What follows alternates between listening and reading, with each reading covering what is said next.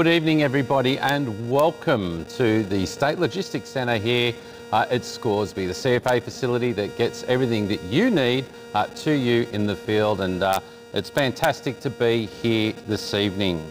Uh, as always, uh, when we do these things, I'd like to acknowledge the Aboriginal lands to which we all meet virtually on tonight and pay my respects uh, to elders past and present, and also welcome any elders of other Aboriginal communities that may be watching us this evening.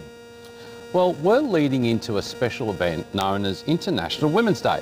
It's something that CFA has celebrated for quite some time uh, and really does go and show the valuable work and contribution that our women in CFA make to not only to make this a great organisation, but to also work tirelessly to keep our communities safe. I'm joined uh, today on the panel uh, by a number of distinguished and special guests. Uh, our CEO, Natalie MacDonald. Welcome, Natalie.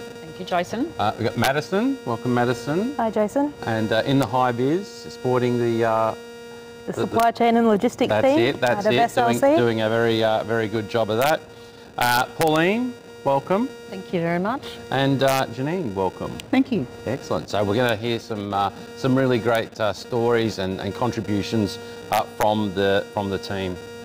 Look, earlier tonight, Natalie and myself, and, and with our lovely uh, live audience here today, uh, our uh, Women's Advisory Committee. We had a bit of a meeting uh, and discussed some, some very vital uh, yeah, topics for, for, what, for, for women in, in CFA. Uh, but it was also somewhat a little bit special because we had some guests tonight as well. Um, and that is uh, shout and a big shout out to, to Dawn Hartog, AFSM, uh, and Peter Shaw, AFSM, who uh, yeah, really stayed behind after a, a board subcommittee we had Yes. earlier on in the day. It's sort of been a bit of a day of meetings. Uh, It has really, been, it? yep. Um, to, to A, listen to what the women of CFA wanted to talk about and contribute, but also be here tonight uh, to celebrate in our PP&C summit. So um, thank you for, for joining us. And how important, Natalie, is it that you know, we have yeah, members of the authority participating in events like tonight? Oh, I think it's really important, and we're, we're very lucky um, to have a number of members of our authority that we often refer to as the board, who spend a lot of time out and about with our volunteers. And of course, we the structure of our board is that um, a number of our board members are volunteers themselves, but they really do go over and above to support us in a number of the initiatives and activities that we're working on. And so it was great to have them here today, and, um, and they're still here um, in the audience there, and have probably got a few hard questions lined up for us later on, Jason. And I'd be disappointed if they if they didn't. Um, it's not a volunteer forum. Uh, it is a, something special uh, than a volunteer forum, and that is our PPE summit. And we've been talking about doing this event uh, for quite some time, and we'll we'll join you again later on in the month uh, for our regular volunteer forum.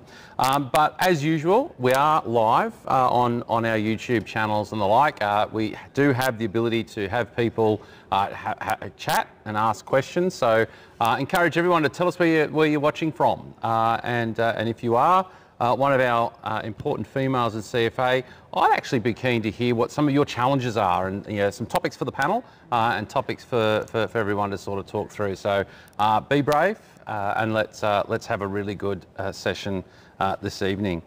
Um, Natalie, I know you uh, obviously a very big advocate and rightfully so. And, and yeah, when we created the Women's Advisory Committee, um, there were some common themes that we were sort of hearing time and time and time again, wasn't there? Yeah, absolutely. Um, training comes up in every CFA forum. Doesn't matter who's um, you know who's in the audience and who who we're meeting with. So training has been a big issue um, and one that we'll continue to have conversations about.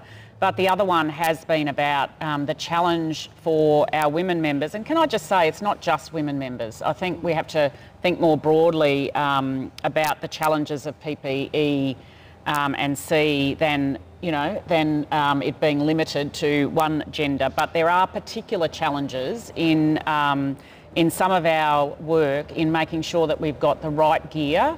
Um, for our women members, and so it came up as a very strong theme um, over a long period of time, and a very strong theme to kind of have a discussion about what is the CFA doing to try and improve um, the fit and, um, and cut and, and access to the right equipment for our women members. And that's partly what tonight's about. Um, and then I think the other thing to note, Jason, which we have done as part of this, is understand that this is actually an international issue. Um, this is not just a CFA issue. The challenge of recognising that um, there are women firefighters or firefighters who don't fit what has traditionally in the past been the norm in terms of their physique. Um, and we've got to provide safe gear for all of them. Absolutely. And speaking of, of all things international, I know, you know Maddisen will be watching you a little later on, and you have Yes. you've had some very interesting conversation with some of our international counterparts, talking about this very important uh, important subject. But I might go um, Janene uh, again, a, a staunch advocate and one that uh, who's contributed greatly to the Women's Advisory Committee. And Thank you. Um, sadly, this evening you've given us some news. Oh, well, it's my last WAC meeting tonight. I've been on the WAC since the inaugural meeting back in August two and a half years ago. Um, it's been a great experience, but it's time for some of the younger ones to step up to the mark. So what's been your observations and I guess and why it's so important that we hold a, a forum and a summit like this? I think because the feedback that I've been getting from members in the districts that I represent has been about um, particular issues regarding PPE, PPC for women. Um, you know, every, anything from BA masks that don't fit to boots that are inappropriate, um, to um, gloves that are too large. So there's a whole range of issues that women have come to me about and that the Women's Advisory Committee has been discussing over the years. Um, but I guess yeah, some of the things I hear yeah, um, now and then is, is that yeah, manufacturers make this unisex gear. It'll be it'll be right, Jack. Um, what do we say to that? I can't swear on television. So I mean, I have to say the boots are the bane of my existence. Yep. Um, I uh, had a pair of boots for 17 years. I needed to get a new pair of boots. I went along to the, uh, the district um, uh, command in, in D23 to get a pair of new boots, and I was offered a pair that came up to my knees. Mm. I couldn't bend my ankles in them, I couldn't get into the truck in them, and they were 1.25 kilos each. Mm. So I went back and said, could I have another pair of boots, please? And they said, oh, well, we can't really give out another pair of boots. And I said, well, why not? Don't you have any others? Oh, well, there is another pair that you could try, which is a bit shorter. So they gave me that pair of boots. So I went, yes. Put them on, and the seams, the interior seams, just dug into my ankles. So I'm still wearing my 18 year old pair of boots. And I think that's really highlighting the need why we need to be having these conversations. But um, Natalie, it's it's yeah, we'll talk more about you know some of the panel's experiences about PPC and fit and form and function. Um, but there's also something that we need to do as a fire industry as well, and that's um, for too long, I suspect we've been a market taker, not a market leader. Um, from your experience, I guess, or vision, wh- where do you see fire services role? And for many people that might not know, Natalie is also uh, a director on uh, on AFAC, so the Australasian Fire and Emergency Services Council. Um, how important is it for fire services or emergency services in general to be pushing suppliers, pushing manufacturers and designers to make equipment that's fit for purpose? Oh, it's absolutely critical, and we do have to um, take on that role and not just sit back and say, "Oh, well, they don't supply it." We have to have the conversations because, you know, we in CFA we've got four and a half thousand women firefighters. That's not a small number. Um, if you add us with RFS, for example, or CFS, um, as alongside our um, career fire service colleagues, you know, you're talking many, many, many, many thousands of people who deserve to have the right PPE. So we do need to, you know, identify where the key um, rub points are, which you know, a bad pun, I think, in terms of boots, um, but and and then start those conversations. Um, but it's not only national; it's international as well, and we'll hear a little bit more about that from um, Maddie. But we, we do have to take the mantle up and say we need to have gear that um, that meets our needs. Yeah, look, and, and certainly, um, Janene, you've, you've started a you've started a trend uh, on. Uh, well, I might be calling it Bootgate by the end of, uh, by the end of this evening. But um, certainly, there's so many people that are that are really sort of you know sharing their experiences with with yourself. Like, you know, Laurie, you know, 100%. When you want to order your own your boots, you need to know your male size. Um, and yeah, Gary again calls out says, "Yep, boots they can be uh, can be a challenge." Um, yeah, so certainly there's a lot of love out there for for your story. Um, Pauline, tell me, I guess, what's some what's been your experiences?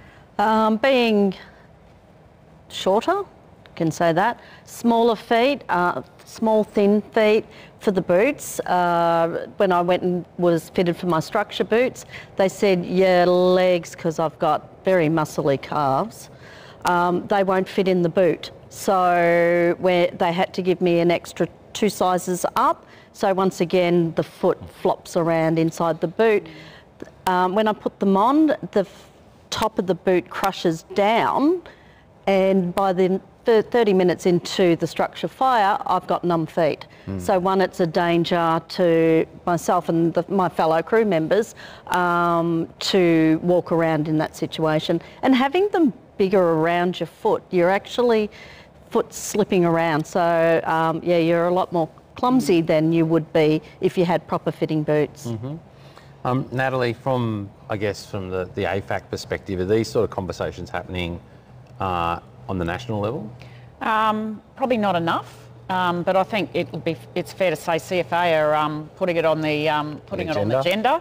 Um, not enough, I don't think. I think that um, it is something where the industry hasn't quite caught up with the idea that we've got a much more diverse um, set of firefighters um, in our workforce, however you define that, um, and that we then do need to see what can be done. So I think there is a lot more that we need to do in this space. Um, well, I don't think I know. And we do actually have to kind of work as one uh, with our colleagues to try and see what can be done to get the done. right um, the right gear. Um, speaking of AFAC, uh, Janelle, I understand you went to the most recent AFAC, I think. I in, did. In Adelaide? No, uh, it was in Brisbane. Brisbane, that's Mm, right. Lovely. Yes, nice the, and uh, warm. It was August. Not as warm as it'll be in Melbourne on the weekend, I can tell you. Um, tell us about you know, what you found going through the exhibition hall. And for people that haven't been at AFAC, yeah, there's usually a very large exhibition hall, lots large. of suppliers, suppliers, lots of uh, you know, good things, uh, I guess, for firefighters. yeah, but not many boot suppliers. Yeah, right. Tell us about it. Uh, well, I went to see Oliver's, who supply the, um, the uh, taller boots that um, CFA have. And I spoke to one of the chaps there and said, you know, why don't you do a boot specifically for, for female? And he said, oh, well, you know, if there was a demand, we'd do it. And he said, how many people are you talking about? And I said, well, potentially over 4,000. And he went, oh, really?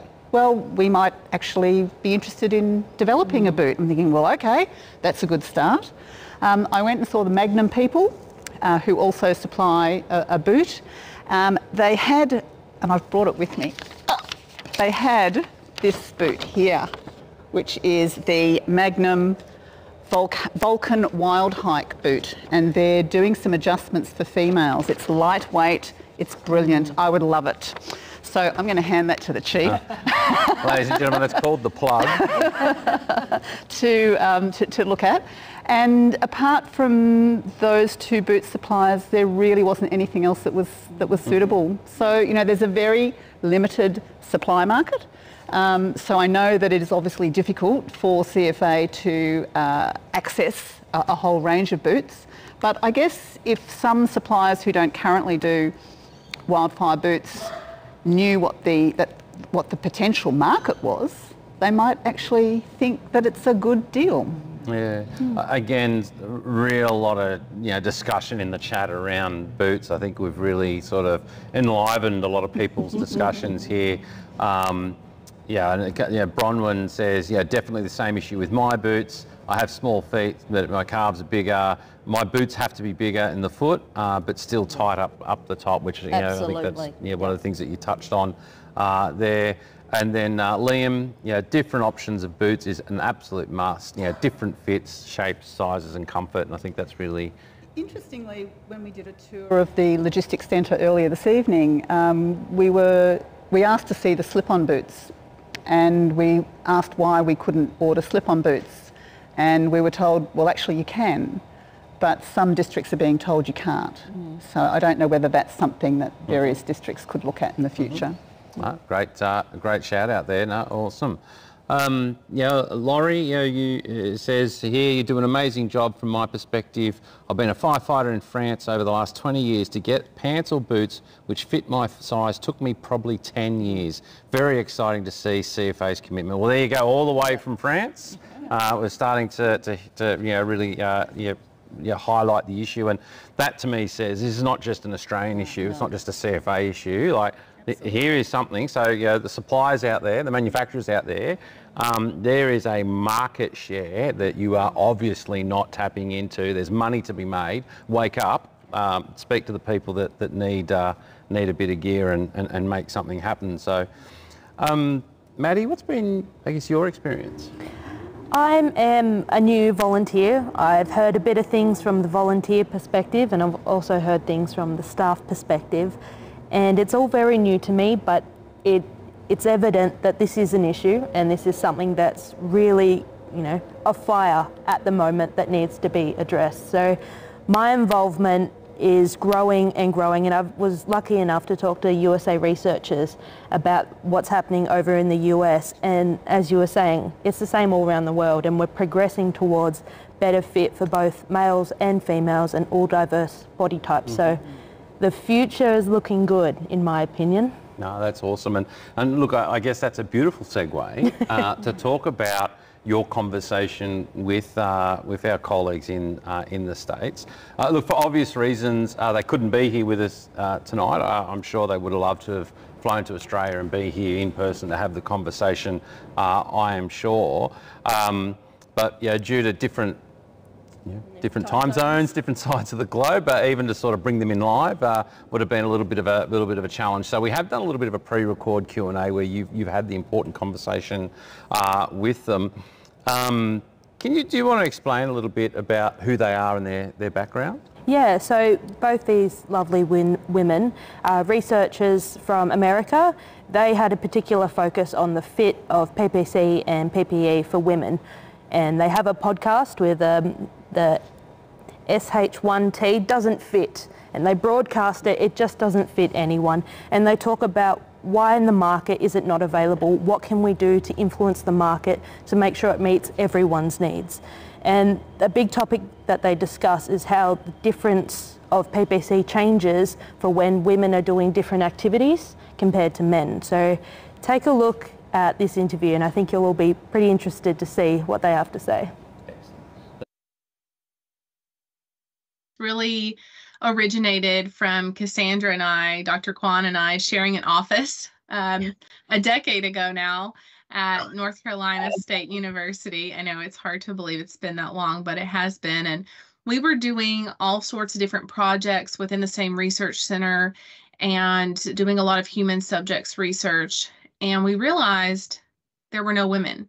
There were no women in our studies, but we knew there were women in law enforcement and emergency services and the fire service, especially. Uh, and so we just started asking questions, and we didn't like the answers that we got, right? Limited market share. Oh, it's difficult to include them in a study for this or that reason. Uh, and so a handful of years ago, uh, I found myself sort of as an independent researcher at Florida State University, and Cassandra also found herself where she could explore some independent research, and we decided to begin exploring this and um, conducting some research at our respective universities and then uh, uh, put together a proposal for the Federal Emergency Management Agency in the United States, uh, which really felt like um, this was very valuable and important research, and it was really lacking. Uh, not not very much research has really tried to get to a solution. Right, there's a little bit out there that has identified that yes, it's a problem in fact, we can go back to studies in 1993 and 2001 that show that women in the U.S. Fire Service have uh, much greater rate of fit issues with their PPE and even a higher risk of in injury, uh, 33% higher risk of injury, so significant increase compared to their male counterparts. So we know that the problem's been there for a while, and that's what really drove us to want to try to solve it, right? To try to move the needle forward inch by inch. Awesome. Thanks for showing that introduction. Now we're going to go through and listen to what they have to say about the PPC available in America and how it needs to change to different body shapes and sizes. Job is one of the most dangerous jobs, right? And uh, the least we can do is provide them with proper protective clothing and equipment um, that that protects them from those multitude of hazards that they face day in and day out on a variety of exposures and calls.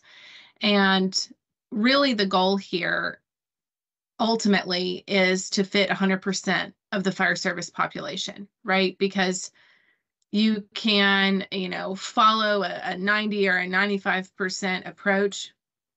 But if you're in that 5% or 10%, right, that matters to you. So our goal should be 100%.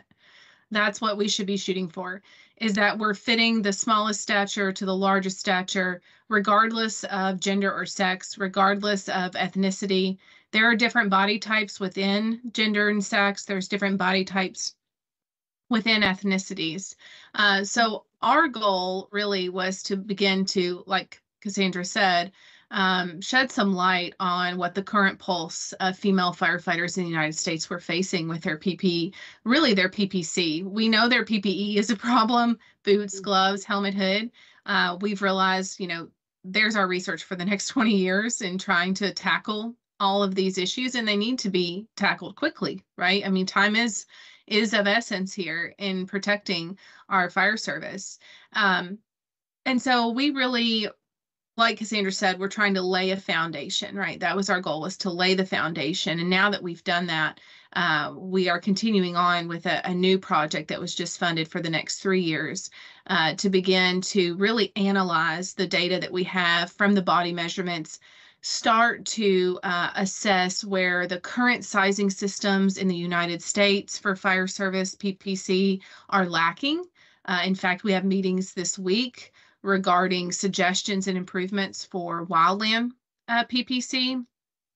So we're hoping to make change, real change in the standards. That's where it starts a lot uh, in in the U.S. Fire Service, and uh, this data that we're continuing to collect will help us to do that.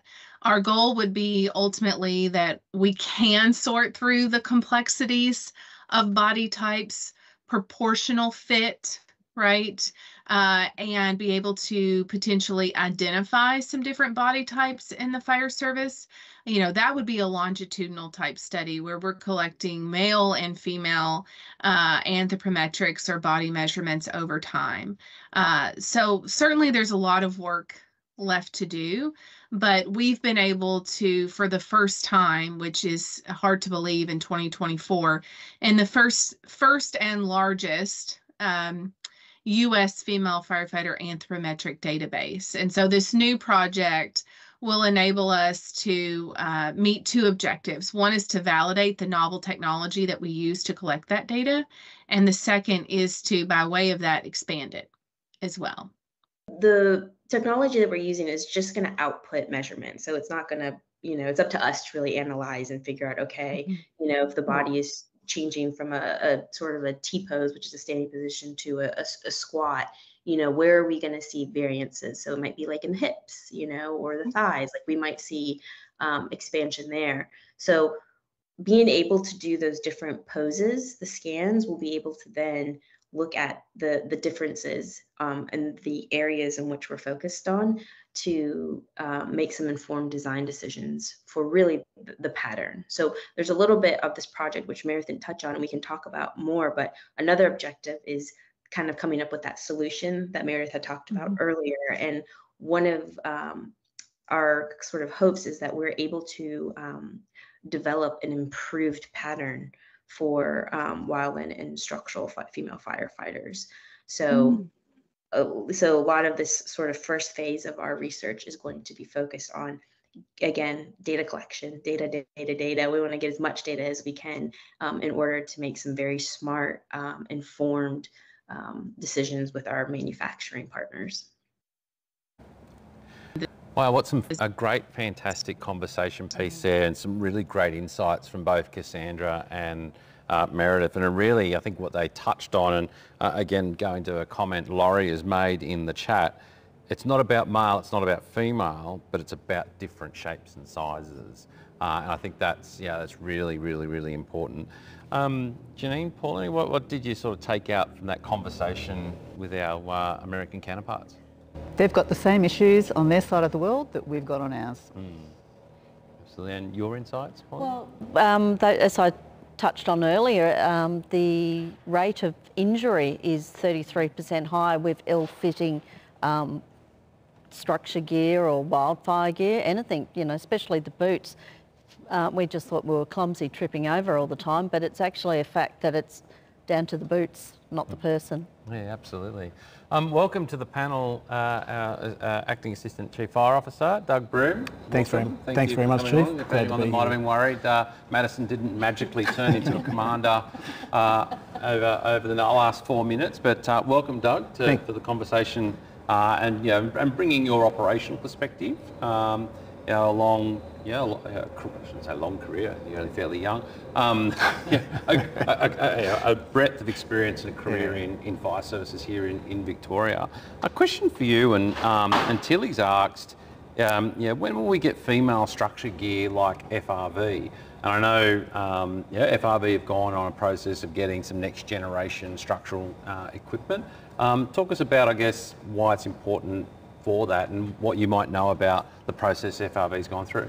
Yeah, sure. Thanks, Chief. So I wouldn't like to speak on behalf of FRV, but certainly I have experience um, both in being issued the structural gear myself and up until recently, excuse me, being on station with both male and female firefighters and exactly the same as being on a CFA station, you know, firefighters of different shapes and um, sizes ir irrespective of their gender.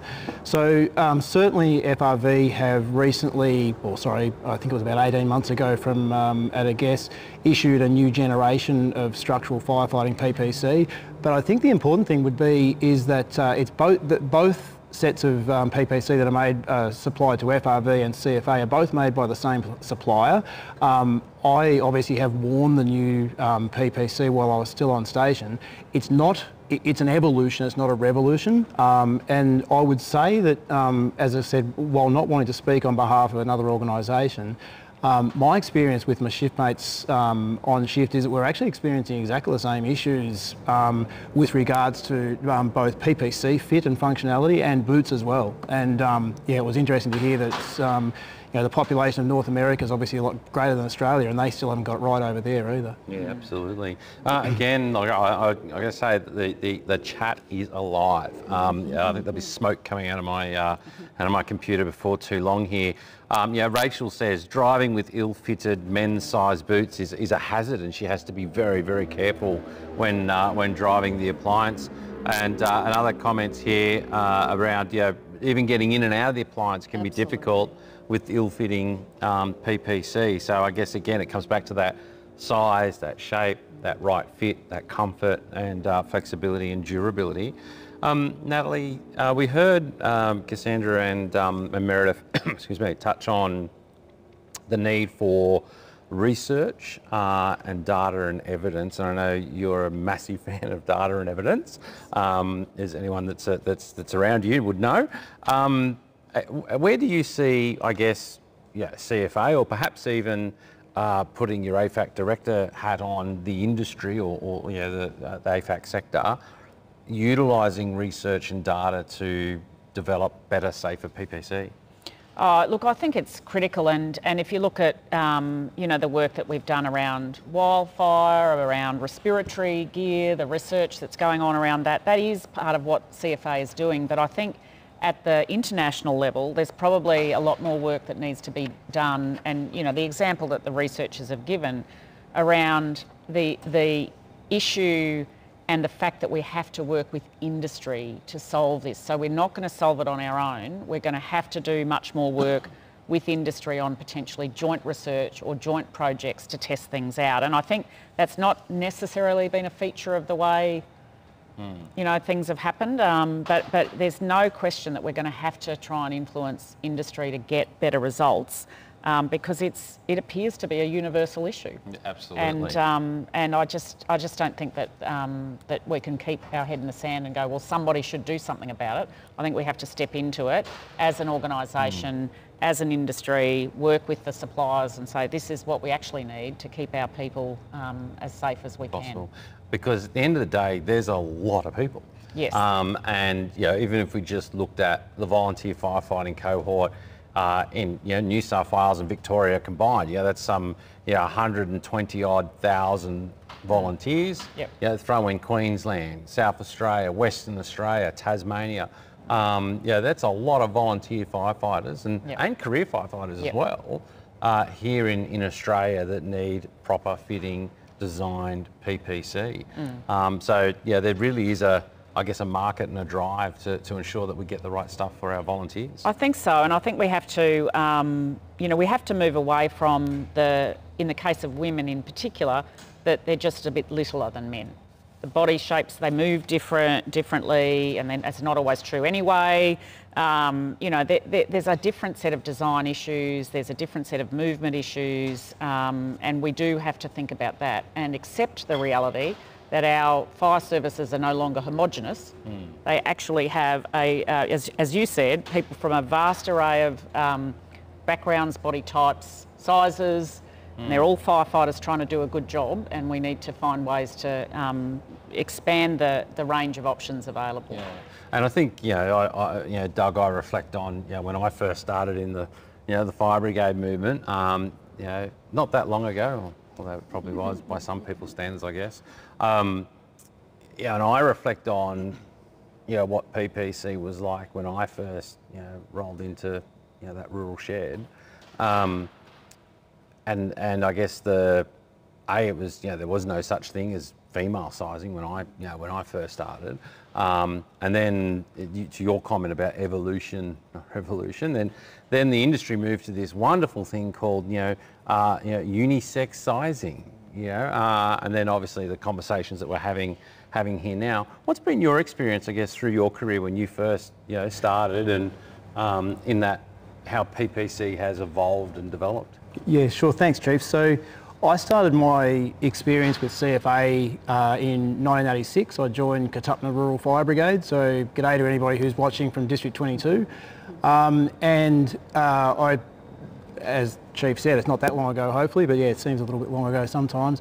But I can still remember getting on the, in the ute with my dad and going down to the station to catch the truck. And um, to be able to get a pair of overalls out of, the, out of the locker of the tanker was actually a bit of a bonus. And then if you actually got a pair of, a pair of overalls that fitted, that was a double bonus. So you weren't swimming in them or that they weren't trying to cut you in half. And sometimes you might find a, a helmet floating around the cabin, so you'd throw that on. Of course, there was no boots. It was just whatever you happened to be wearing in and coming out from the paddock. And that's that's a little while ago now, and then uh, we had an evolution. Sorry, an evolution over the time, and there was different um, types of PPC that came out. I remember one uh, type of PPC that uh, came out when I was a, a, career firefighter in Dandenong, and we used to call them magic buttons because, like, whenever you tighten up your BA straps, the buttons would pop off and your pants would end up around your knees. So that wasn't ideal to come out of a structure fire like hot, dirty, sweaty, and you know trying to waddle out with your over trousers around your knees. Um, but we've come, uh, I think, I, I, highlight those issues just to say like where we are now. Like, you know, if you look at where, how far we've come, it's not to, to denigrate the, the actions of, and, of people trying to do the best in the past. It's just to highlight where we've actually come to today. And it's not to say, as we've heard already tonight, it's not to say there's not further gains to be made, but we've certainly, um, we've certainly come a long way. Yeah, I, I think that really is a, a um, yeah, we have come a long way, you know, and lots of comments again in the in the chat around, um, you know, form fit, uh, you know, pulling the um, seat up to the to the steering wheel to be able to drive, but having so wheel fitting PPC that you then can't, you know, appropriately reach um, controls and that sort of stuff. So it's we've come a long way, but there's so much more and, and further we need to go, isn't it? Yeah, absolutely. Well, We've got a little bit of a practical session now, and I want to introduce everyone to Nicki Lund. And Nicki not only uh, is our expo, expert fireboat captain um, of the Eildon Fire Brigade, uh, but she's also uh, uh our project manager on the on the wildfire next generation wildfire gear. And Nicki's going to take us through um, the wildfire fit methodology, design, uh, why some of the features were built into the next generation, generation wildfire gear and explain some of the practical purposes of, of how they were put together. Um, so uh, what was based around the trial here is a there was a field-based trial that um, two members from every district, one male, one female, was selected from the district management team to trial the garments. Uh, and feedback was actually received from those members that went into the design of this um, this actual garment. So, Chief, I'm going to hand this to you. Okay, so just you do while practical we, demonstration. Yes, practical Excellent. demonstration. So, we have a lot of pockets, and pockets was one of the things that actually came from the feedback, along with. Let me get this jacket open along with the opportunity to not only have braces but also to have a belt. So there's five belt loops here, along with the opportunity to have braces if you choose or a belt if you choose. As you can see here, there's multiple pockets. So we've got pockets here, pockets down here on the jackets. We have thigh pockets, we have um, pockets on the side, we have through pockets, and there's also pockets behind as well. There's, I think, Nicki, um, lots of pockets. Yes. Yeah, that was a lot of the feedback that I know Absolutely. we got in our project. And uh, radio pockets Absolutely. as well. Uh, but, radio pockets on each side. Yeah, and I can tell you uh, with with some authority because I happened to be wearing this, mine the other week, uh, last week. Uh, it nicely fits a 600 ml bottle of uh, of water as well. Oh, okay. Well, I can tell you that the wildfire PPC project worked very closely with the radio replacement project. Ah. So therefore, we know that the radios fit perfectly in here. Excellent. Well, take us uh, continue on the journey. So here you can see, Chief, that we have a blank name badge. So this is the same position as the structural PPC name badge. It comes with a blank one for now, obviously being in store here at SLC. And then the project has ordered everybody's name as surname, the same mm -hmm. as mm-hmm. structural, which will be sent out to districts and then on sent to the brigades themselves. Mm -hmm. So it is a Velcro. It will come off and as you can see, quite tough to come off.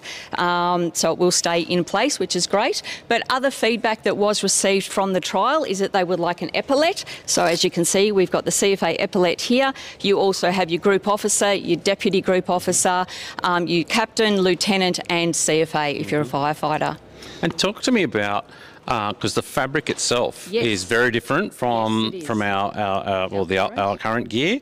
Um, talk to me about the fabric and why and why I guess the fabric makes it next generation. All right, so our current wildfire PPC, the Proban, um, is 340 GSM. This is much lighter at 240 GSM, which um, the feedback that we're already receiving is fantastic on the, the fabric itself and how light it is um, and how much more breathable it is. So that's a great um, initiative that's moved forward, but it is just as protective um, fire retardant wise as our current I was just Ban. about to, you know, I'm sure someone out there is thinking, hang on, we've we've we've dropped some of the the GSMs, and uh, does that mean that safety is being compromised? Not at all. Absolutely not at all. So it's moving forward with technology um, and just a lighter material. And so this is 69% Nomex, 31% wool, and the Lenzing being the fire retardant is woven through the material. So for all the Australian uh, wool producers out there, they'll be very very happy that yes. we've uh, got some wool uh, in this product here. Um, radio clips. Yes, we have microphone clips up the top here, so we can have the radio in the back, and you can either take it up over your shoulder through to the microphone clip here. We also have positions Oh, for pens. pens. That was also another feedback that came um, from the trial, the design trial. So there's everything that's been taken on board from the feedback, um, and I can't stress enough that the feedback is is looked at very seriously uh, and constantly. So we will take on board all feedback that's coming in, um, and so please, if there's anything that people um, want to, to let us know, um, send it in, let us know because it's always taken into consideration. Um, one of the things I know, you know, from my experience wearing the wildfire gear uh, in the bush, obviously, and you know, I see that you've you've, you've actioned here some reinforcement in the uh, in the elbows And the knees. Uh, and the knees, which I think is, you know, uh, uh, I remember as a young volunteer, uh, you know, always doing my doing my duds before you um, before you wore through your uh, your jacket. Uh, talk us through. You've got sort of. I'm going to. Now they're not flares. We're not in the 1970s, No. but talk me through. I guess the bottom part. Um, so we have received feedback that people can put them on over boots, and, and that's um, something that they've said is favourable. So you don't have to take your boots off. Um, so that's one feedback that's come through. But um, they're not flares, no, Chief, no, not at all. Um, but they do have the Velcro at the rim. They can be tightened, um, so it works um, for, for all. And obviously, again, you know, we can tighten around the hands, we can Yes. tighten around the boots, but Yes. we, we need to make sure there's adequate airflow as well, don't we, for metabolic heat Yeah, build-up? Absolutely. Um, and there isn't, and I know there is a question in um, the, the chat about um, coveralls. Mm-hmm. Uh, coveralls haven't been produced for many, many years, and that is all about the metabolic heat transfer. Um, so, uh, yeah, it is just the pants and, and the coat. Um, so it's all about the airflow and. yeah. And I noticed for the first time we've put the badge on our wildfire uh, Yes, PPC one, the same as what you have on the workwear. in colour. Yes, in colour. Uh, well done. And the heat transfer on the back with the CFA. on the on the back here, um, Tiana. If you want to walk around the back, so people can see on the on the back. We've still kept the the CFA uh, the CFA logo there. Um, reflective tape. Yes, reflective tape, um, which uh, has is, is all over. Um, a couple of spots on the jacket and um, onto the trousers as well. Um, so yeah, very visible on the fire ground. Um, one of the things I noticed uh, again when once wearing it um, last week, uh, I yeah I did manage to get one of the sleeves wet. v- dried, Dries very, quickly. Yes, absolutely, and that's a bonus as well. Um, so. Um, yeah, no, it does. It dries very quickly. Um, we have had some feedback that um, being lighter, they're so used to the Proban being a heavier material, so sometimes at night they can feel that cold a little bit more. Um, so uh, when I have fitted some members, I've, I've always sort of said to them, think about when you are out on a strike team and it might be night time, and if you know you might want to put a jumper on underneath, make sure you have enough room within um, your jacket to be able to fit that jumper just in case. And uh, I noticed, yeah, some of the more you know, common feedback that we've had also in other other variations is, you know, nice sturdy zipper. Yes. So some of the feedback from the trial was about the zipper. So the zipper was made more sturdy after that trial. Yep. Uh, and in terms of our burnover protection, we've kept yeah, the elephant ears. Yeah, yes, yes. So no, the collar is still the same and, and does um, goes all the way up and then cross over with your Velcros. So yes. Okay. Um, excellent. Well, I think, you know, Nicki, you've done a, an absolutely uh, fantastic job, and you and the project team uh, and the volunteers and all the committees that were involved in, in pulling this together. Thank I'm going to ask a question. Yes. Yeah, we've been talking about size and Yes, shapes and that sort of stuff. Yes. Um, male, female, different sizing. How have we, how, yeah, next generation, how have we, how have we dealt with that? Thank you. Great question. So the trial, as I mentioned, had a male and a female in the trial design. So both of them were fitted out according to their size um, in male and female um, designs. Um, I'm play- pleased to say that the female um, design also has uh, short, regular, and long length for them. So that has come out um, of some feedback that we received from a forum that we had. But the design is in a range from 6 to 26 for, for the females um, and 67 to 132 for males. Um, and of course, we have the made to measure outside of that as well. So it's available for all shapes and sizes, and male and female. And in terms of like the waist cut, the yeah, the length, Yep. um, and the the the, the inner lengths and stuff. Yeah, we've been making sure that yeah we've got the Absolutely. everything yeah, everything's been taken into consideration. A lot of uh, research and trial, as I mentioned, um, to go into this design to make sure that we got it right. And I know you've fitted out personally. Yes, okay. Uh, I'd suggest a couple of thousand volunteers over Yes. over the last year or two. Um, what's been the initial reaction of uh, of everyone? Wow, how light it is. So that's the first reaction. The second reaction was um, lovely from the ladies, is that the fit is actually fantastic for the ladies. Um, so with the, the trousers, they've got the elasticised at the back um, and the option to have braces or not braces um, or a belt or, or not a belt. It, so either all of the options are available. So to take all of that into consideration um, and the many pockets and pen pockets, um, they're saying the design is fantastic. Uh, question I, I see we got earlier on is around the belt itself. So um, a bit of smarts went into a bit of forward thinking in terms of the workwear fit out and the next generation wildfire um, fit out is the belt that issued for the workwear, the leather belt, um, is specifically designed to fit the wildfire gear as well. fit through as well. Yes, it does. So um, the members have got the option if they want to use their uh, workwear belt that they can use it with this as well. With the brace and obviously the braces if, Well, if they wouldn't well. wear the braces if they're if they're using a belt. Um, they don't have to wear both. So don't be cheeky. No, awesome. Uh, well, look, again, thank you very much. You, you've done a fantastic job and thanks for, for taking us through. And now we'll throw to Maddisen, who's on our other mic. Alrighty, thank you for that. We've had a question submitted from Joe in Tarwin Lower Brigade uh, prior to this recording, specifically for Nicki and Jason. They have asked what progress is CFA making on better fit smoke inhalation protection and what is the process of the wildfire respiratory protection trials? If you could provide us some more information on that.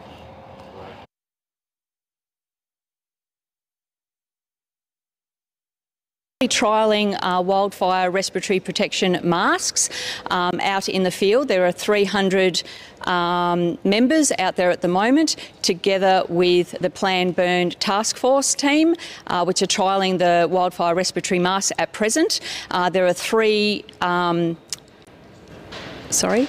Yep. There are um, four different masks that are being trialled, both um, full face and half face masks. And um, we are evaluating the feedback on um, the, the members um, that are coming in. And at the end of the fire season, um, all of that feedback will be evaluated with a recommendation on a, a product that will be put forward for procurement into a open tender market in the future. Uh, fantastic. And, and again, a, a great amount of effort uh, that's been done uh, in, uh, in, in pulling it together. Uh, ladies, just apologise uh, for that. I just I've got an operational call that's been ringing me, and Doug's just been allocated the job of, of getting to the bottom of it. So my apologies. Um, look, again, congratulations, Nicki. Well done, um, both on the next gen wildfire gear, but also with the respiratory protection trial. And I know yeah, you and I are both very keen to, to, to, to get that to a point where we're able to A, talk to our members more about the outcomes of the trial and what the next steps are in terms of looking after, again, our continued membership health and safety in that, that respiratory sp- space. So um, no, thank you very, very much. Um, so what do we think about the next generation wildfire gear? Well, I'm still waiting for mine. Nicki? I think that's, Lots that's one of the. questions on the chat on the on the time frames, Yeah, and poor yeah. Nicki will go back now and uh, have a go at answering them. Yes, so that's one of the things that certainly the women in my district have- Mm-hmm. have asked. Um, you know, they've been fitted a long time ago. It just seems to be a bit slow, and some brigades, half of them have got their wear, and the other half haven't. So Yeah, yeah. And I guess in terms of some of the features that, that Nicki ran through, um, what's probably what's your initial thoughts to what's Pockets. been gone in? Pockets. pockets are Pockets. great. Yep, lightweight. Um, really, it's the pockets, I think. Yeah, and the fit. Yeah, the got to go fit, the fit. absolutely. Um, I've got mine and I think it's absolutely fantastic. Love all the pockets. You can get your notepad in, your um, pocket knives, everything else that you need. And it's actually, the fit is just amazing because you go in and you try on the proper size. Yeah. You're not just allocated, um, oh, well, you're about that size, so you'll get this. So that's great. So thank you, Nicki, for all your work on that. Ah, well done. Um, Natalie, you and I quite regularly get um, uh, you know, suggestions, um, you know, things sent to us, in some instances lobbied um, quite hard Yeah. on you know, equipment, pieces of, of, of, of um, know, PPC or whatever it happens to might, might, might be. Um, now, there is a defined government procurement process that, uh, the CFA has to go through. Yep. Do you want to step us through, I guess, how that's done, just so everyone gets a bit of an understanding why it's not so simple um, to, hey, well, here's something we want, bang, you know, we'll go down the shop with a credit card and buy it, so to speak. Yeah, well, I mean, you know, we've got obligations as custodians of taxpayers' money to get, um, you know, to get the best value that we can. But also, as I think you've heard from Nicki, the the design process that we're now going through is far more comprehensive than it has been in previous iterations. And I like to commend Nicki and team, particularly on on um, the wildfire PPC, that it it has taken into account a vast array of issues that people were raising. And sadly, and I'm, it's been great seeing the questions and issues come up on the chat, but we're never going to be able to do everything everybody wants. Um, so the process of designing the specifications for new gear like this or the next generation gear is is really to try and get the best value for money we can and squeeze the maximum out of out of the design, but we're never going to be able to do it all. That's that's just the reality of the world um, that we live in. And as you know, even in the chat, people are still waiting for us to roll out new gear to 51,000 volunteers. Takes a long time, and it takes a big supplier to be able to do that. Um, you know, the the challenges at the moment around both workwear and um, PPC are around the fabric supply, which is suffering from international delays and all of the things that we've seen in other parts of, um, of industry. But we do um, have to go through a very comprehensive process of developing specifications, and that's, um, that's what the teams at CFA do with our volunteers to try and get the best design.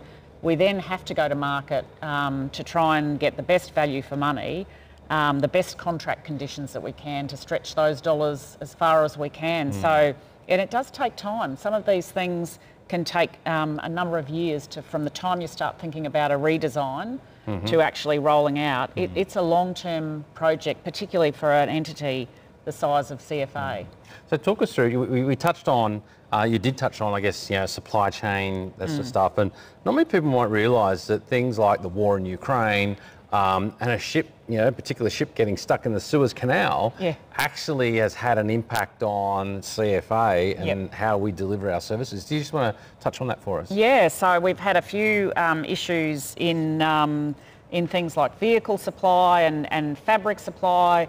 Um, and you're right, uh, we had some gear stuck on one of the ships stuck in the Suez Canal um, when there was a, a, a blockage there. And, um, and that took many months for the backlog then to kind of come through and um, and um, be sort of resolved. Um, the labour supply issues are also playing out for us at the moment. So the challenge um, of actually getting labour when we have been able to choose Victorian companies, which is fantastic, or Australian companies, which we do try and do and is government policy, but we then get caught on things like labour shortages, and mm. that has definitely been the case on things like workwear. Mm. Um, which the, the companies that are producing the gear just can't get the workers because of shifts in immigration patterns and that oh, pesky little thing. thing. called COVID. So mm. we would dearly love to be able to roll this stuff out more quickly, and our teams are doing everything they can to get that done. But occasional things like wars in the Ukraine or ships stuck in the Suez Canal are not things we can sadly control. control. Yes, yes. I'd like to All the powers to, of the CEO and, uh, and yeah. still can't make that happen. No. Yeah, yeah. No, um, so, Pauline, Janene, what's, um, I guess, what are your thoughts to, I guess, uh, international market forces? We heard, you know, something as simple as a, you know, a ship getting stuck in a, in a canal mm. and you know, war in Ukraine and, uh, and the rest of it having an effect, but also in terms of how important it is for us to be able to get the, the, our PPC to our members, but you know, the members need to wear the PPC as well. Absolutely. Absolutely. Look, I, I know that, um, you know, there's been a lot of talk, and Pauline, you've probably had it in, in your um, brigade as well, that, um, oh, well, you know, we get it, do we have to wear it? You know, I don't want to wear it. Uh, you know, the helmet doesn't fit, this doesn't fit, etc., etc., etc. Well, it's a safety issue. Exactly. And yes, we would like to have everything absolutely perfect, but we don't live in a perfect world. Exactly. Um, and for our own safety, if we're making sure we're wearing the correct um, PPE, PPC, that's the start. Um, even down to the t-shirt underneath um, your uniform, make sure it's correct because if you've got a nylon shirt on, that's not going to be too good for you once you're yeah. out on a very hot fire ground. Mm. So uh, making sure what we get um, provided that we actually wear it and we wear it properly. Make sure you've always got um, your mask on properly, your helmet on properly, and your glasses. Mm. It's all about safety on the fire ground at the end of the day. You were talking about, um, you know, wearing something underneath, and we were talking at our women's networking group the other day about um, the cottons, the cotton yes. undergear that comes with structure gear. But those of us who don't have structure gear are not um, privy, privy, to yep. access it. So, um, and apparently it's only in a male fit. Yes. But, but some of the girls wear it as pyjamas. They buy, they bought it and they wear it as their, their own pyjamas. So I don't know whether that is something that could be offered, you know, mm. across mm. the spectrum mm-hmm. um, as a as a potential, even if members, you know, are prepared to buy it themselves. But a lot of Absolutely. members don't know that it's available. Mm. So, you know, I guess um, we've probably got many young um, you know, female volunteers potentially watching tonight mm-hmm. um, who may have only just come into the brigade, only just starting to, to attend incidents and, and fire. I think you touched on, I guess, some handy tips and tricks. What other tips and tricks do, do you have? Are you very two experienced firefighters um, for, for, I guess, anyone that might be coming along going, uh, what do I wear? What do I do? How do I deal with this? The biggest thing that I think everyone should carry, particularly if you haven't got 2020 vision, is a spare pair of magnifying glasses because every time you've got to look at a map or your pager or anything in the truck, we've actually, our brigade, we've actually got magnifying glasses in every glove box now. Yes. Because, um, you know, there are so many times when you don't know where you're going and you can't see where you're going. Um, I think also keeping spare underwear, socks, mm. they're the things that get wet mm-hmm. um, and it's easy to change, you know, in the back of a truck if you have to. Mm-hmm. Doug, um, from a I guess, yeah, from your perspective, um, yeah, going on a strike team, um, whether you're male or female, really doesn't matter. Um, what are some of the things we need to make sure we've got in the kit bag? So we've heard, you know, spare socks, jocks, that sort of stuff. What, yeah. Um, what else do you, you think will recommend that people, you know, people bring along? Absolutely, She. So from personal experience, I can say that uh, went to um, Beechworth on a strike team and uh, got up there with all the other members and eventually realised that none of us had socks and jocks, as, as Janene mentioned earlier, but also toothbrushes, like um, so personal ablutions and things like that. And by the end of the weekend, we'd pretty much cleaned out all the Beechworth stores of all their socks, jocks, and uh, toothbrushes and toothpaste. So um, any personal items like that. Um, and you know, just talking about the, um, the, the, the magnifying glasses, I remember I used to relieve at a station once, and the, one of the officers there had an illuminated um, magnifying glass attached to a chain in the front seat of the truck. And a, a 10 or 15 years ago, I used to sort of think, oh, the doddery old fool, like he's, he's too long in the tooth, he should get out. And now I'm thinking, gee, where did you get that magnifying glass from? Like, I wouldn't mind a couple of them too. So.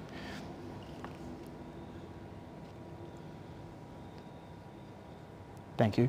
Well, that's, um, thanks for thanks for thanks for sharing that experiences. I think it's really important for people that, you know, that not quite sure of where they're you know, where they're going or they're sort of doing to hear some of those simple uh, tips tips and tricks. Uh, we're going to do something uh, special now, and I'm hoping that uh, technology works for me. Uh, and we're going to now go to uh, a, a, special guest, and that's um, Director of Logistics from the New South Wales Rural Fire Service, Josh Torrens, who yeah, is, is really yeah, expert in PPC, PPE and equipment supply for uh, for our volunteers uh, and for, sorry, for the RFS volunteers, um, and to, you know, how they've brought about and gone on the journey to ensure that they've got know, right, safe fitting um, equipment and the rest of it. So uh, bear with me, I do need to put the years on. I'm not proposing to uh, belt out a tune and do a bit of DJing uh, tonight. Uh, yeah, we're not having a rave at SLC tonight, so um, for the workers that work here during the day, it's okay. Um, but we'll, we'll, we'll, still kick that off. And I might uh, just quickly check on it just for the team behind the desk. There's probably about a 30 second delay. So I'm, I don't know whether that's going to affect us. But um, Josh, can you, uh, can you hear us? Maybe not.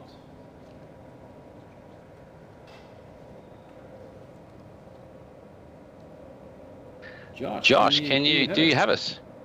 I certainly do. Good evening, sir. Excellent. Excellent. Welcome, Welcome Josh, Josh, to, uh, to, the CFA, to the CFA and to our, our volunteer uh, forum summit. Tell us, Tell us a little bit about yourself and some of the roles that, uh, that you do at the New South Wales Rural Fire Service and what you're responsible for.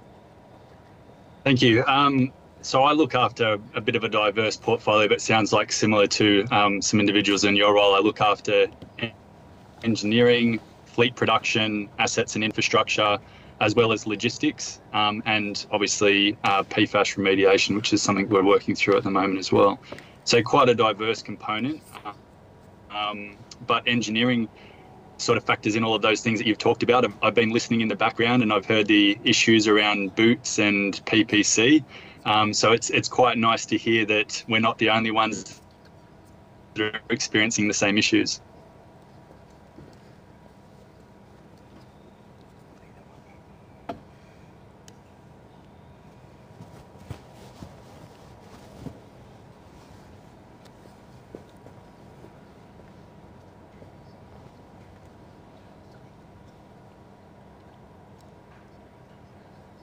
Yeah, it's, it's, uh, uh, uh, sorry, everyone, you're going to have to uh, bear with us a little bit. It's almost like we're, I know Josh is just in Sydney. It's almost like we're doing an international call at the moment. There's, there's, there's quite a few second delay in the broadcast here um, tonight, so I, I really do do apologise. Um, Josh, RFS has been going on a on a journey around their uh, workwear or utility type um, functionality. Tell us about that project and what you've done to um, involve the volunteers, but also um, make sure that you're delivering a product that's right for them, fits their shape, and is functional in the field. Yeah, absolutely. Um, so similar to CFA, you know, we want our people to feel safe and comfortable um, in the uniform and the PPC that they're wearing while they're going about doing their tasks. So we surveyed the entirety of the volunteers and we got pretty strong feedback that we needed to go and have a look at what we're doing. Uh, and a lot of strong feedback that the unisex uh, approach was not working. Uh, so from that, we actually identified about a thousand people who wanted to come in and work and collaborate as part of working groups. We, we culled that down until we had enough representation across the different uh, parts of the state, uh, also including volunteers, staff, in office, out of office. So we get a good understanding of what our requirements are. Um, we then broke it into two groups. So we've got the, I guess, the overall uniform group, which makes sure that we have that constant uh, image and branding across the organisation. And then we had a female specific group, which has been really important because to date we haven't really had that engagement. Um, so we've been having both run in parallel, and it's been really good to to get the women into a room and just understand the, all those issues that I guess we addressed a lot of them on this one. You know, the opacity of the material, the length of the shirt, the breathability of the material, the cut, the style, the drape of the garment. Um, pockets was a big one, um, modesty flaps. So a lot of those things that we've been unpacking, we realised that um, we need to understand what those requirements are. So we actually went out to the market and we looked at what was on the shelf, other organisations internationally as well. We put them all on a rack. We brought everybody in and said, have a look at the shirts. Tell us not which shirt you like, but what you like about the shirt. So let's look at all the different variety of pockets. If you wanted pockets on a female shirt, for example, what would those pocket style look like and what would be functional for them? Um, so that engagement's been really good. And what we've been able to do is then really refine our requirements to build those prototypes that really make that fit for purpose product. And I, I think um, Natalie touched on it earlier that um, we just haven't seen the industry drive that innovation that we really wanted. Uh, so this organisation, um, I guess all organisations, including CFA, collectively we seem to be putting the pressure on the suppliers to innovate, which is not ideal. The way the industry is going, which is good to see. And talk me through. So uh, RFS has been a bit like CFA and gone on an evolutionary journey. So I know from the wildfire perspective, uh, RFS used to have the the Proban treat, treated cotton, uh, very similar in, in in shape and size to to the current know, Proban um, product that the CFA has. That uh, a couple of years ago, you went on a journey to develop your next gen wildfire gear as well. Talk me through that and how you made sure that that innovation uh, and fit for your volunteers was there? Yeah, so I guess again, engagement's the key. Um, I, am not. I'm, I'm, a certain style and shape myself, so I know what works for me, but I have no idea what works for everybody else, and I don't know what makes other people comfortable or uncomfortable. So that engagement has been really critical. Uh, engaging with the industry has been really important too, like you were saying about the materials, understanding what they're doing in relation to innovation and when we say innovation, we're talking about global innovation, not just Australian innovation. Um, because we want that global platform. We want to see what the industry is doing. So the engagement component um, has been really important on those two factors. Industry, here's the problem we're trying to do, find us a solution, um, and here's the, I guess, the scope of work that we need from our people. Here's the things that are causing us problems, the things that are causing us issues, uh, and then help us collaborate and find a way to move forward because what we've gotten just isn't working. It's working for some people, but it's not working for everybody. Mm. So, talk me through. Um, so, you talked about getting uh, different garment sizes in, type, shape, um, products, that sort of stuff, and and also you know, a bit of international stuff as well. How did how did that go? How did the market react to the RFS reaching out internationally to seek uh, that product information uh, and access to? Uh, it was it was surprisingly well. I think um, was a few sheepish suppliers that realised that they weren't bringing stuff to our doorstep, that we were having to go and find it and pull it in. Um, but there's there's a lot of stuff that's happening, even to the point, you know, we're just looking up instead of the fast are we looking at buttons? Are we looking at zips? Are we looking at um, concealed access. You know, what is it that people want? Um, so bringing all those options in was was really critical. Um, if I can flip over to to the material component, though, it's it's a very similar story. Um, we don't want to go out and say we want you to build PPC only using this material because we're not experts in materials. We don't understand truly the uniqueness of the supply chain that they have to deal with. Um, and we want something that's reliable, that's consistent, but that's innovating. Um, so we want people in the industry to go out and push the boundaries, bring us something still that's compliant, that's safe, that's true, that's tested, so that our people are safe, but really go out and push that envelope of innovation. So if they're presenting something to us now, it might not be good for right now, but in two to three years' time, when they have the appropriate testing, we want the ideas on the table. Mm. So let's talk about uh, appropriate testing, appropriate regimes, and you, you know you've mentioned standards a number of times, and you know there are you know national and international standards around uh, safety and security of of form and functionality of PPC, in particular, um, you know in the wildfire and structural space. Talk me through, I guess, how fire services like the RFS uh, make sure that the products that get produced for our firefighters meet international and Australian standards. Yeah, absolutely. So obviously you start at the, the, the base point, which is give us all your certification shows you're compliant. But then we don't really just take their word for it. We obviously mm. get the material swabs, we take the material and we get it tested ourselves. We want the verification in there. We want the, the feel of it too, not just how it performs under fire, but then how it all works together is really important. So if we're talking about a utility shirt, that's one component, but how does that utility shirt integrate with the wildland jacket and make sure that that whole ensemble um, functions correctly and appropriately? Um, we probably have seen that there, there's a lot of suppliers that focus on um, the utilisation or meeting of Australian standards when we go out to market. Uh, and when um, I guess I've engaged with a lot of other international suppliers, they all say, well, it's kind of expensive to maintain that certification and accreditation to Australian standards. But if there was a market, I'd go and get it straight away. Um, so it sounds like the international market shied away from us a little bit just around our standards. Um, but again, it's that that challenging in that, well, I just need you to meet or exceed that standard. So let, let's understand what that is. Let's collaborate with AFAC working groups, which obviously we do. Let's see what everyone else is doing. Because again, I do feel like Australia is a unique place in that we we get what our limited supplies show us. You know, we go to an AFAC conference and we see what's on the stand, but it's only a small snippet of what the actual market has to offer us. So how how do we get that worldwide view, but that compliance and certification to me is a really important question, and it's it's something we're continuing to explore, same as everybody else. And I know that um, you know both our organisations' technical teams um, really do work hard to make sure that the PPC that are produced, as you say, meets or exceeds um, standards, and that's even uh, that even includes what we call the burn test.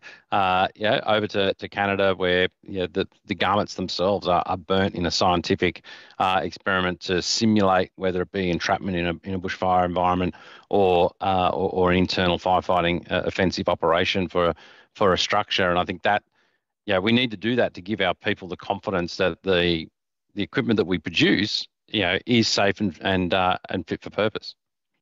Absolutely, and you know, being a volunteer myself, like I want to know that the PPC is going to work. I, I just don't want to rely on a certification that a supplier submitted as part of a multi-million dollar tender.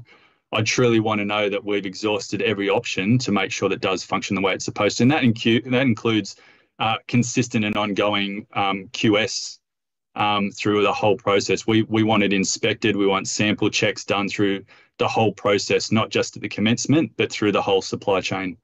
Absolutely. Well, Josh, thank you very much for for making yourself available tonight. I know it was a bit of a last minute uh, charang for yourself because uh, we were pulling uh, a few things bits together, and unfortunately, due to some illness, we had some uh, some other segments fall out. But uh, we really do appreciating you uh, taking the time to share your experience in the RFS and how you've utilised. reference groups and consultation groups and uh, and science and technology to to develop your uh, PPC for, for your members. And I'm sure I'm sure the communities of Kellyville uh, all the safer for having you on their local truck, my friend. Uh, but uh, thank you very much, and uh, we wish you and uh, the members of the RFS all the best uh, for what's left of the season. Thanks, sir. Appreciate it. Excellent. Well, thank you. We'll now um, you know, talk about and throw to a, a video which really does look at how um, yeah, re- US research and research and technology can influence uh, how PPC manufacturing and design can take place.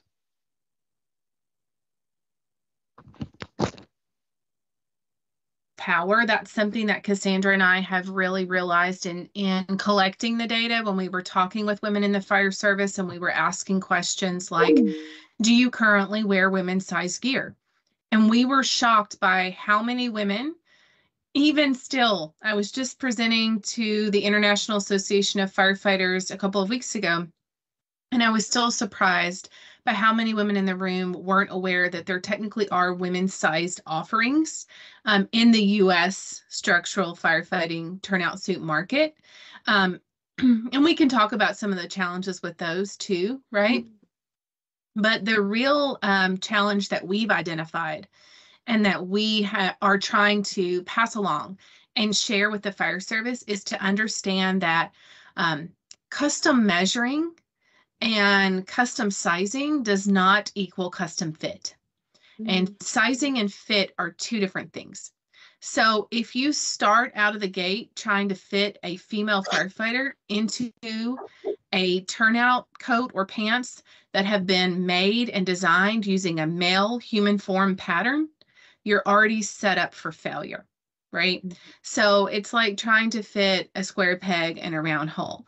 We can shorten the sleeve length, we can lengthen the hem for, you know, uh, maybe add a little bit of clearance in the hips, but ultimately we started with the wrong foundation, right? With the wrong ingredients. Um, and so that's what we've really tried to spread that message is to help our fire service. And certainly that's what we want to do here as well, is to just bring awareness to understand that the way that the manufacturer may be approaching fitting, whether it's women versus men or various body types in general, may not be the best approach from a technical, uh, functional product development standpoint and perspective. Mm-hmm. And so that's been the key thing that we've been trying to share. So I think obviously being aware of your materials is one side of it, but being aware of the design process and what pattern, what measurements were used to create that pattern.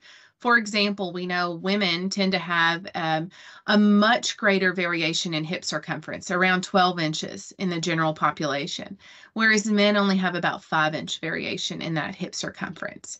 So if you're making a pattern to fit a male form, your waist to hip ratio is going to be much smaller than if you are designing for a woman. So the sweep and slope of that pattern would need to be different.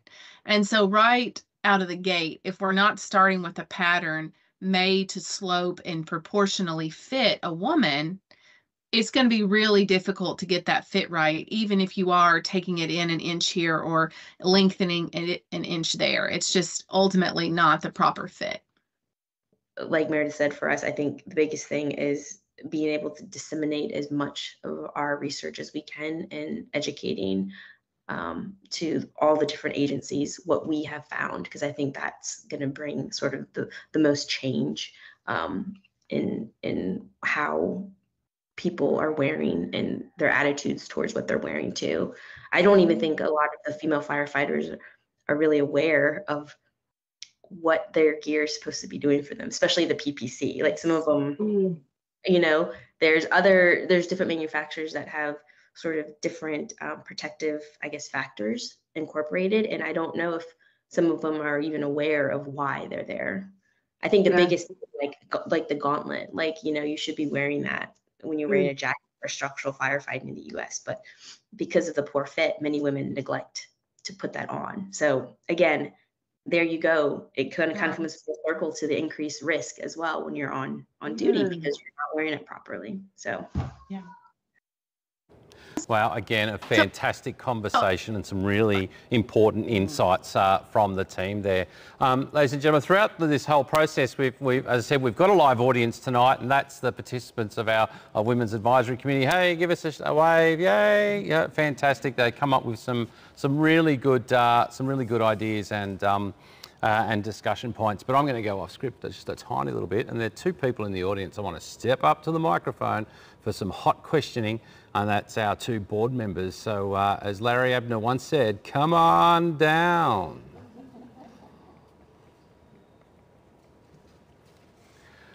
Welcome, Peter. Welcome, Dawn. Pleasure to be here.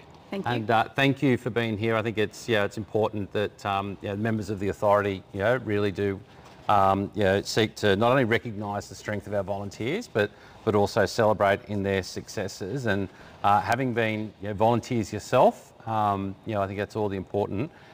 Heard a lot of discussion tonight. Um, you've heard the issues. You've heard the uh, yeah, the, the discussion and the points. Um, I'm keen on, on your thoughts. Dawn. Yeah, I, am so excited and I really want to thank everyone, um, and particularly yourselves and, and Natalie um, and everybody behind the scenes for putting this together because, um, as you know from several discussions we've had, this is a really um, uh, deep, you know, kind of to my heart conversation. And for those of you watching the chat at home, you would have seen that I was cheeky enough to pop in a question as well about structure gear and research and testing on women, um, which is something that I know I've been um, inquiring about and wanting to know not only you know for ourselves as firefighters but across the sector. Research is so important and I know chief you, you spoke about it earlier. Um, it just is is critical for all of our members not just women you know while we're talking here. So um, know that from a, a board and uh, and a operational members point of view um, it's just as dear to our hearts um, as everybody who has been commenting and, and watching this evening. Um, Peter, from, from your perspective, you've, you've only just recently um, yeah, stood down from the role of group officer for the Knox Group. Um, and you know, how important is it for you as a, as a senior operational leader um, to ensure that members have you know, right fitting PPC that's you know, functional, that you know, really does you know, enhance the safety on the fire ground? Look, it goes back to the, uh, the safety of our people. It's been talked about a bit tonight. And, and to the point that it's not just a quick go and put out a, structure fire somewhere. It's the longer term days and days on a strike team and, and wearing that gear and, and staying comfortable uh, and keeping it uh, uh, usable for a period of time, not just the short, sharp, quick respond to a car accident or a small fire. Um, so uh, as a, uh, uh, I guess as a male firefighter um, in CFA, you've, you've heard, yeah, you've heard it firsthand, um, and as a board member, the challenges that, that some of our members have around PPC sizing and that sort of stuff. Um, yeah, there's no expectation of you to solve it tonight, Peter, uh, with you and your, your board colleagues. Um, but I guess, you know, you hearing it firsthand, what, what comes to your mind? Oh, look, we've still got a way to go. Um, I can go back to the days when um, we had the one size fits all, and it was literally one size fits all. And if you weren't the first one into the fire station to get the pair of overalls, um, you missed out either male, male female, or big or small. Um, so the fact that we've even got personal issue now is a big change from what we've had in the past. Um, we're working on it. I know there's a new uh, review coming up in relation to structural gear. And we're going to start looking at that now and following on from the wildfire gear that we've done. There's a lot of cost involved, so we've got to get it right, but we're, we're certainly looking at the right aim to get the right sizes to fit all people we can get. Absolutely. Well, thank you both. Uh, thanks for, for playing along and being put in the, you know, the, hot the, hot seat. Um, there's no million dollars, I'm afraid, but, uh, but certainly thanks for coming and asking, uh, you know, sharing your thoughts and views. Uh, to this very important subject that's that's been discussed. So thank you, Dawn. Thank you, Peter. Thanks. Thank you. Um, Doug, I guess that goes to what you were saying there before about you know Peter's story. First one in, gets the gets the gear and um, yeah. I think a lot of people would share a similar sort of experience earlier on. Yes, definitely. Yeah. Look, some some fantastic questions in uh, in the chat. We'll try and get to, to a few, and I think. Maddie, you've got a few pre-canned questions as well that we'll, we might try to get to as well. I know we're we're running close to time, and it won't be long before my executive producer Brad throws something at me to hurry up. Uh, but I've got one here from, um, from Dean Reading. When will brigades and members be able to order additional workwear items such as shorts? Um, that's a fantastic question, uh, Dean, and I know I've been having conversations with, uh, with Kylie Bates and the team around uh, how we will make extra uh, items of workwear available. Another one that's really, a lot of people have been advocating to, to me about, including brigades, um, you know, they accept that, you know, there's an initial allocation and, and that sort of stuff, but they want the ability to be able to purchase the gear as well, like a lot of, a lot of, uh, a lot of inquiry. Um, you'd be happy to hear that at state championships this year, um, there'll be something going on uh, around that uh, around that space. So uh, stay tuned. It's probably a good a good a good reason to go to Mooroopna to, to watch the juniors and the seniors compete over the two uh, the two weekends. But I know uh, Paul Sandamaro has been doing a fantastic job in making sure that we've got the ability for brigades and members to be able to access uh, and purchase additional workwear should they want to. No compulsion, no expectation. Mm-hmm. Um, that's, you know, that, that we have been getting a lot of brigades asking, hey, we're happy to buy it. How, how do we get access to that? So uh, watch that space and my big thanks to, to Kylie and Paul for, for bringing that together and making that happen. I'm sure there'll be many brigades across the state that are happy to, to, to hear that. So Maddie, So, what Chief? have we got in the can? Well, we've got a couple of questions that were submitted prior to tonight. One is from Scott from Hillcrest Fire Brigade in District 13. He has asked. Too far from here. No, not too far from here at all. Are CFA's parameters for additional structural PPC being reduced or amended? The requirement for 50 call-outs before being eligible for a second set of structural PPC needs to be reduced as he believes it should be in line with OH&S practices. Great question, um, Scott from Hillcrest. Uh, so what we are doing at the moment is uh, undertaking a wholesale review of all the chief officers' SOs and SOPs. In fact, um, there's a power of work that's been done by our consultative committees in, in order to, to do that. And I know uh, a big shout out at this point to Adam and the VFBV. I know we've probably been pep, well, not probably, we have been uh, peppering them with uh, with SOPs and the like to consult on because it is consultation is an important part and what we do need to do per the volunteer charter. Um, but the reality is they're old. Uh, some of them were you know signed off last by I think four or five or whatever more 2012. chiefs ago. Uh, so th- there was a need for them to be contemporary. Uh, PPC allocation uh, and renewal and reallocation is one of those SOPs that we have just recently updated.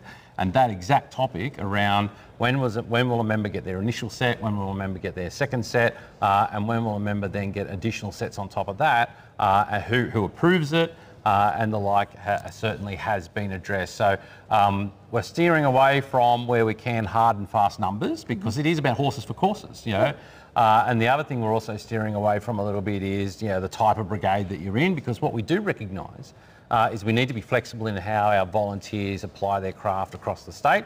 So, you know, if, if um, Peter Shaw, uh, you know, who I know is a very skilled structural firefighter, uh, moves to you know, a rural part in, in, uh, in Victoria, um, you know, and has the you know, competency, skills and abilities to continue to contribute, uh, can still be issued structural gear when he prov- and, and provides assistance to the neighbouring um, structural brigade. So we're trying to think laterally about how we do those things, and it is horses for courses, and uh, that will be guided by uh, by the local the local ACFO.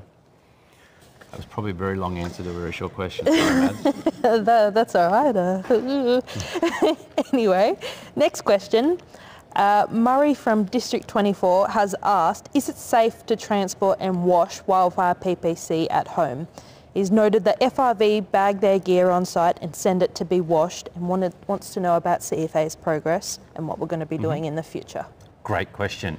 Um, yeah, decontamination uh, and contaminants is, is quite a topical uh, issue at the moment. Um, Doug, in terms of asbestos, biologicals, those other, you know, um, I'm going to call them hard contaminants. Um, talk us through, you know, what that process is and, and where can someone find guidance? Yeah, sure. Thanks, Chief. So um, the, the procedures for both agencies are, are broadly similar. Um, and certainly CFA's got good doctrine out there. Um, there was an operations bulletin put out in, I think, 2023, I think it was, which also refers back to the Chief Officer's Standing Order um, that cover, covers um, con, uh, use of contamination at incidents as well. Um, so if, if there's a suspected contamination event at a, at a, a fire, the, the gear's uh, isolated, people, there's decontamination procedures for personnel to follow. Um, the, the gear is isolated and then transported appropriately and decontaminated. So the, the, the procedures for each agency are, are pretty much similar. No, excellent. Thank you, Doug. And I guess, uh, and I'm sure people are now screaming at the screen going, it didn't answer the question. Um, the first bit is if it's general wildfire, yeah, bushfire type, type smoke, uh, it is safe to, to be transported and current practice uh, is it to, to, you know, to be laundered. Highly recommend laundering it on its own, uh, not with anything else, and uh, to use synthetic uh, detergents, not natural detergents, because that washes the proban out, out of your gear. Uh, that is the current guidance, and I know there's a working group being pulled together at the moment to look at uh, how CFA might seek to transition to uh, and improve its decontaminations processes uh, and procedures into the future. Again, looking to uh, where we can, where we can, you know, harmonise our practices with our colleagues from Fire Rescue Victoria as well, because we do so many joint uh, operations. So thanks, thanks for that. Um, so Maddisen, the tables have turned. Uh, and, you know, I get to ask the question this time. And I've got a curly, curly, curly one for you. Uh, members of the District 8 have asked, what is the official process for getting your structural ensemble? Most people would think it's a complicated process, but it's not.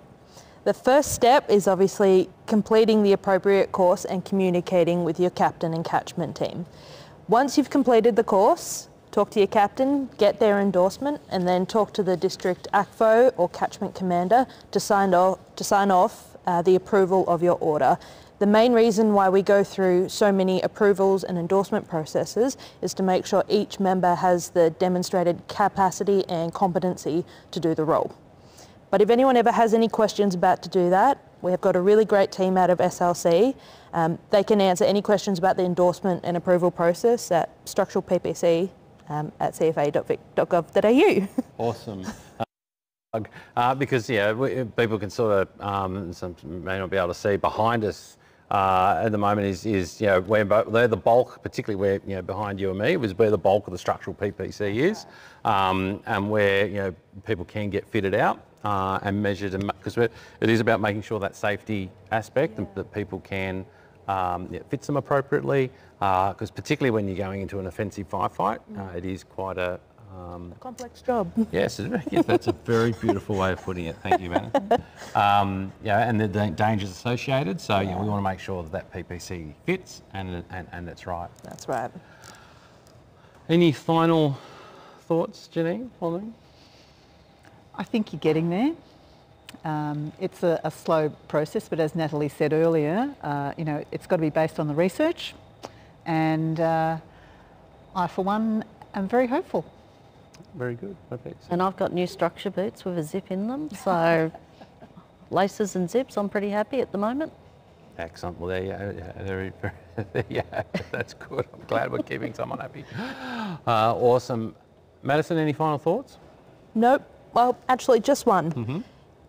We talk about needing fit for everyone and diversity, but we can't have this if people don't speak up. Mm. So don't suffer in silence. Always talk up, talk to your leader, talk to your commander, you know, your captain and whatnot, and make your issues known. We can't change anything unless we know it. Mm -hmm. um, or the people in the uh, in the centre here tonight, talk to your local Women's Advisory Committee uh, representative who I know will be more than happy to, to yeah, that's it. Hi, yeah, me, that's me, yeah. Uh, more than happy to, to take up that, you know, that, that issue uh, and really advocate it, uh, advocate for it hard. Um, Doug, any final thoughts?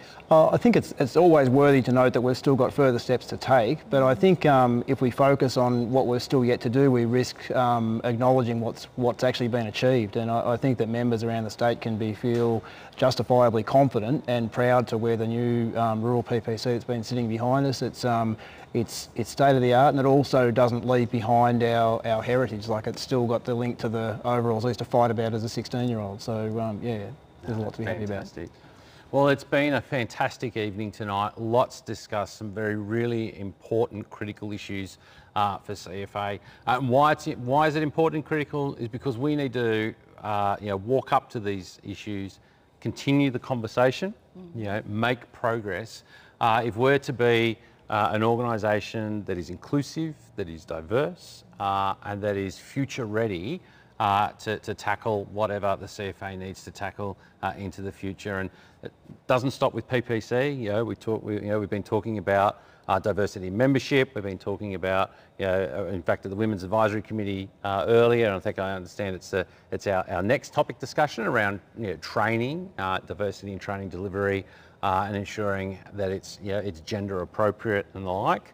Um, these are all things that we need to do today because uh, you know, uh, uh, uh women make up 50% of the population.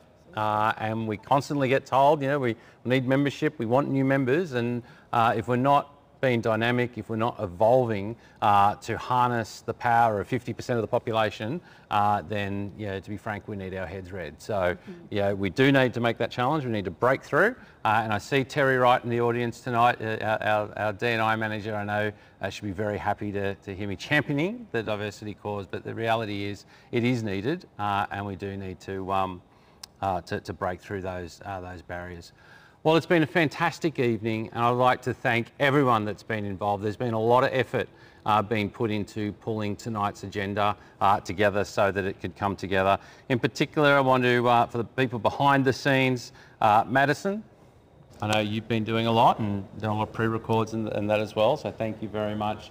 Uh, from our VST teams, uh, Martin Anderson, um, Brad, Beth, and uh, Tian behind the, the, behind the desk, they do a fantastic job uh, every time we do one of these. And again, my sincere thanks to them. But more importantly, thank you to you, the members. Uh, without uh, your interest, without your participation, without the hard questions being asked and the conversation being had, uh, our organisation uh, wouldn't progress forward the way that it has. So big thanks and a shout out to everyone involved. Well, thank you very much. Uh, stay safe. It is going to be a warm one this weekend. I do, in, uh, I do anticipate uh, that there will probably be a few total fire bans. So um, uh, no doubt many uh, brigades across the state uh, will be busy. And to wrap up, I encourage everyone to participate and celebrate International Women's Day. It's a day where we really do get to celebrate the fantastic people in our organisation, of the, of the women, of our brigades, of our groups, uh, of our, our, districts, regions and state uh, that do a fantastic job in ensuring that our volunteers are able to do what they do best, which is out protecting Victorian communities. So uh, stop, reflect, uh, hold a morning tea, get together, have a chat, no matter how you celebrate, celebrate it and have a conversation about the important issues. Thank you very much everyone and good evening.